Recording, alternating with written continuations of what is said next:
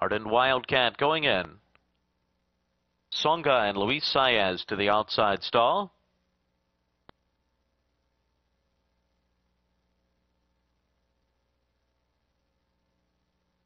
Going in is Songa, and they're all in line. They're racing in the Caixa Electronica. Rebo Bobo started well, and right alongside Mongolian Saturday's going to take the lead and open up. And Mongolian Saturday kicks away from Rebo Bobo, who's guided to the outside and now gets right on the attack. And Rebo Bobo is to the neck of Mongolian Wildcat. Three lengths back to Dad's Laugh, and then comes Songa and Harden Wildcat at the back of the field, moving for the turn at 22 flat quarter.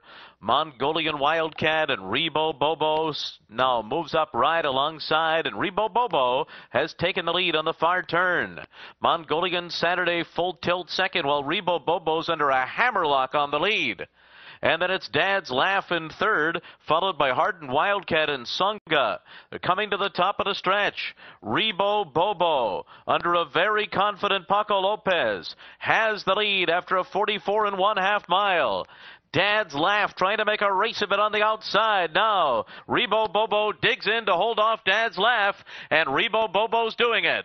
Rebo Bobo, a winning machine, takes the Caixa Electronica over Dad's Laugh. Then Mongolian Saturday and Harden Wildcat.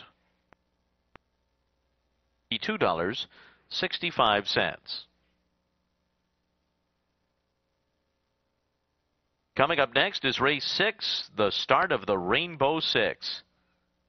1,974,000 wagering, scratch nine Union Medal and ten Senior Prom. No changes in race seven. Eighth race, Antioco Murgia rides number eight Street Smoke. In the ninth race, scratch numbers ten and eleven. And in the tenth race, scratch numbers one and twelve.